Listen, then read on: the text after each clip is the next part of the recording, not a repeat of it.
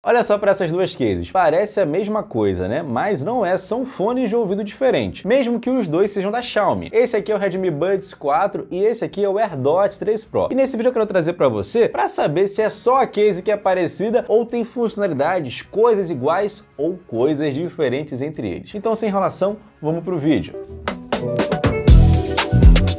O AirDot 3 Pro já é um fone de ouvido que está fazendo sucesso já há um bom tempo, porque sim, é um fone de qualidade. Mas agora a Xiaomi também trouxe o Redmi Buds 4, que é muito parecido pelo menos em relação à sua case ao AirDot 3 Pro. Então nesse vídeo eu vim trazer aqui para você as diferenças entre eles. Já te adianto que temos diferença entre eles, então te aconselho a ver o vídeo até o final. E vamos começar então falando sobre o que vem dentro da caixa de cada um deles. Vem as cases e aqui estão elas muito parecidas. Aqui no AirDot 3 Pro ele veio na coloração de um branco gelo, bem parecida com o que temos agora aqui no Redmi Buds 4, mas a gente consegue notar sim que aqui na case tem uma diferencinha. Olha só, esse botão. Aqui no AirDos 3 Pro, o botão de despareamento, ele vem na parte da frente, enquanto aqui em cima é igual, né? Temos aqui a sua LED de status de bateria e só aqui atrás que está o seu botão de despareamento no Redmi Buds 4. E embaixo, igualzinho dos dois, tem a sua porta de carregamento do tipo C. Já aqui dentro, a gente vai sim conseguir ver uma diferença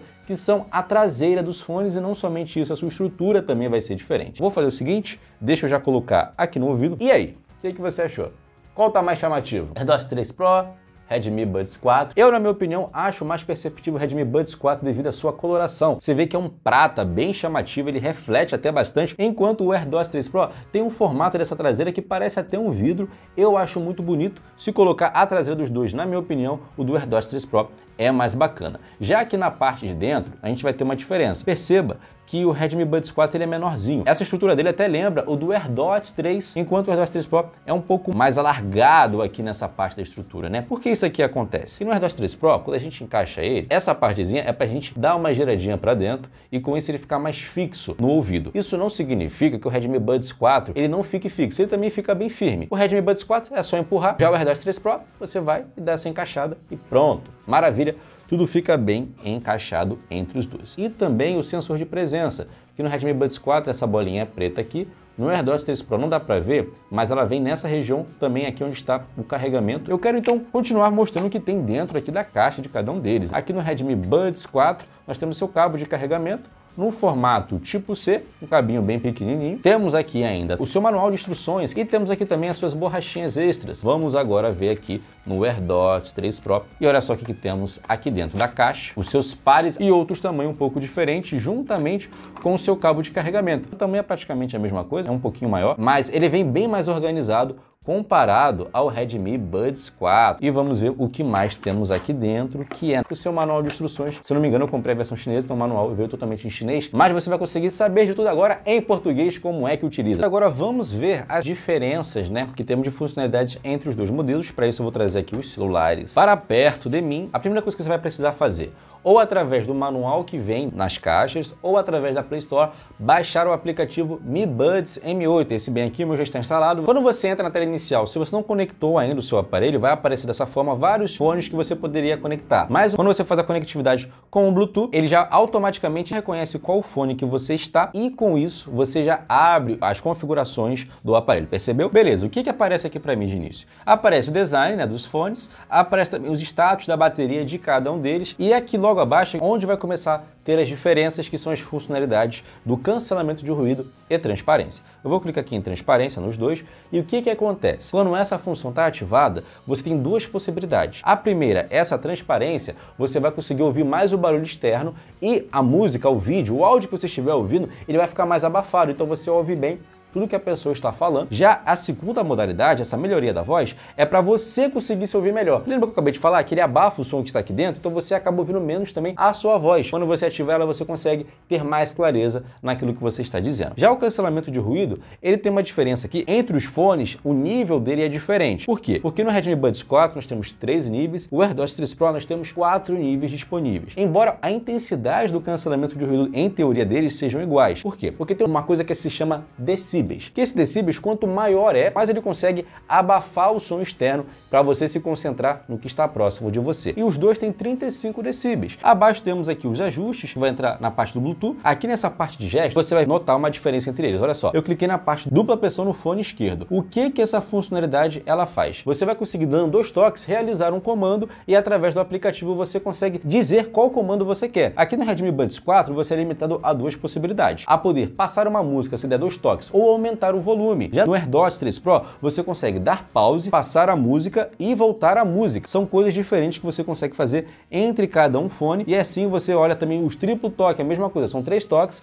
dando três toques, a execução vai acontecer, eu vou fazer aqui na prática com você. E aqui no Pressione, você segura no fone por alguns segundos, ele automaticamente entra no modo de transparência ou automaticamente ele entra no modo de cancelamento de ruído. E essas são as funções de gestos. O que é interessante se falar em relação às funções de gestos, para você não ficar dando toque aqui nas partes laterais, seja em cima ou seja nos lados. A mesma coisa no AirDots 3 Pro. Por quê? Porque o touch deles está bem aqui no meio. Então se você dá aqui em cima, você pode falar, ah, funcionou. Não é que funcionou, é porque seu dedo acabou esbarrando um pouco no meio e ele acabou fazendo o reconhecimento. Agora vamos aqui no vídeo que eu quero mostrar os gestos funcionando realmente para você. Estou aqui no vídeo, vamos começar aqui com o Redmi Buds 4, eu estou só com o fone esquerdo. Vou dar dois toques nele, um, dois, passou para outro vídeo. Agora eu vou dar três toques. Um, dois, três. Já foi no volume máximo possível, mas deu para perceber que ele funciona. Agora uma outra funcionalidade que eu tenho aqui, lembra que eu falei dessa bolinha aqui, ó? O sensor de presença. Olha como é que ele funciona. O vídeo está aqui rolando. Eu vou agora tirar o meu fone do ouvido.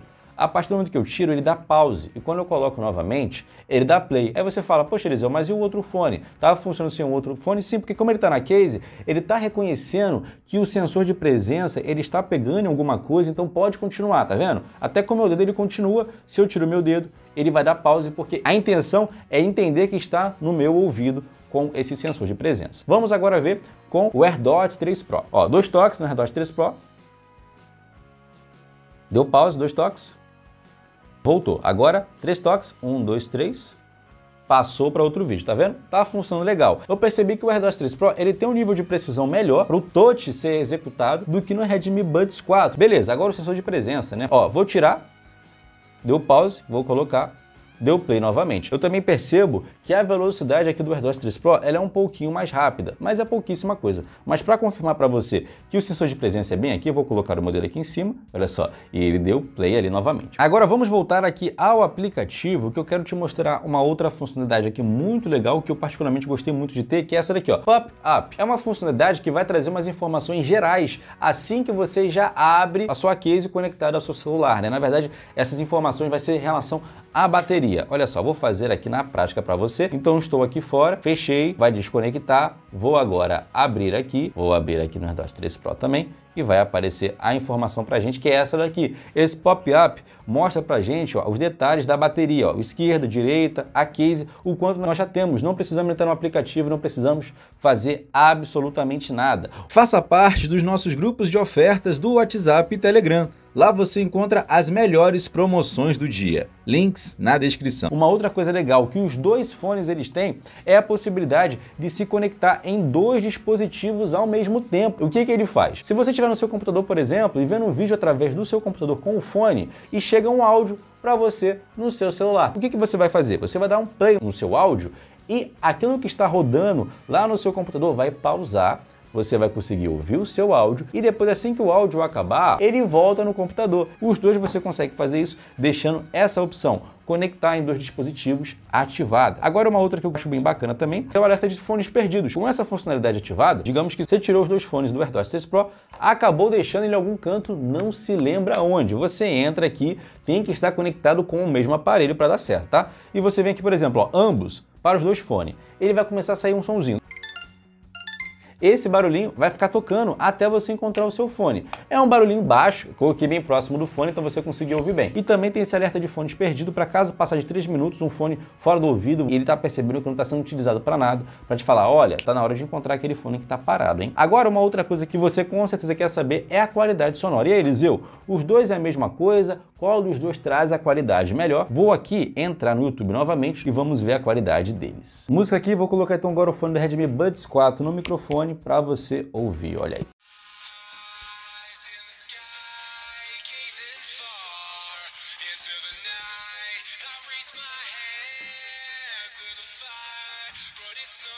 Beleza. Agora vamos ver no AirDots 3 Pro como é que fica a qualidade.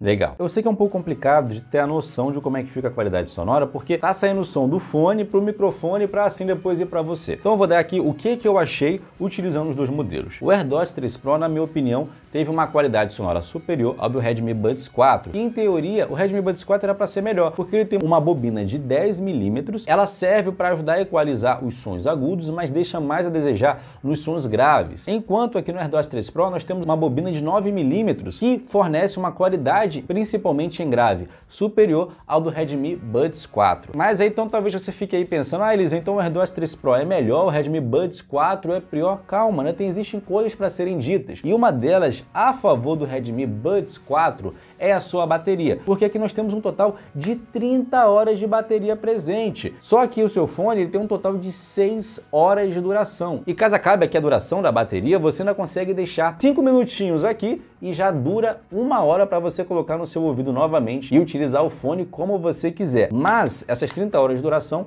ela ocorre se você deixar o cancelamento de ruído desativado. Com ele ativado, a duração é um pouco menor. O AirDots 3 Pro, ele traz um total de 28 horas de duração, sendo a case mais a bateria do fone de ouvido. E igual aqui ao Redmi Buds 4, cada fone ele tem um total de 6 horas de duração. Mas um outro ponto de destaque aqui para o AirDots 3 Pro, que ele consegue carregar também por indução. Sabe aqueles carregamentos sem fio? Você coloca ele em cima e ele vai carregar por indução. O Redmi Buds 4 possa ser que ele tenha, mas eu não encontrei nenhuma informação, pelo menos nesse momento em que eu gravo esse vídeo, informando que ele consegue fazer isso. Agora um ponto também favorável aqui para o Redmi Redmi Buds 4 é que ele tem a proteção IP54, enquanto o AirDots 3 Pro ele tem a proteção IPX4. Tem uma diferença aqui entre eles. Por quê? O Redmi Buds 4 ele tem uma proteção contra poeira e água. É proteção e não a prova de água. É coisas diferentes. Significa o seguinte, que se entrar um pouco de água nele, não vai ser danificado. Ele vai continuar funcionando muito bem. Já o AirDots 3 Pro, ele não tem essa proteção contra a poeira,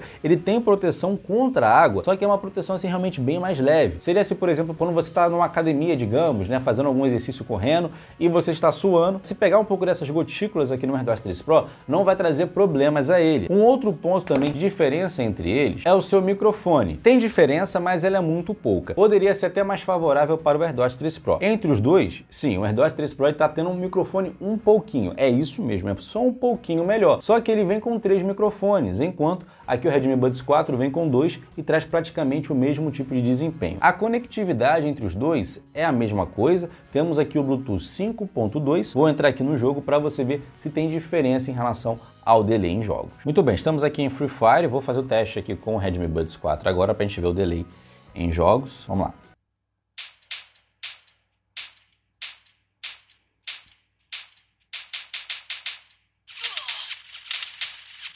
Então você viu aí o delay sim, o delay ele existe, mas não é algo sim, demore muito, ele corre rápido. Vamos agora aqui ver no AirDots 3 Pro. Quando está aqui carregando, é legal de se falar também o seguinte, não adianta somente o fone de ouvido ter a tecnologia alta, o seu celular também tem que ter esse tipo de suporte. Ou seja, o Bluetooth aqui do AirDots 3 Pro e do Redmi Buds 4 é o 5.2. Se o seu celular também não for esse tipo de Bluetooth, não adianta, porque não vai trazer o desempenho maior que os fones querem proporcionar para a gente, né? Beleza? Estamos aqui então agora no AirDots 3 Pro. Vamos ver aqui o delay dele.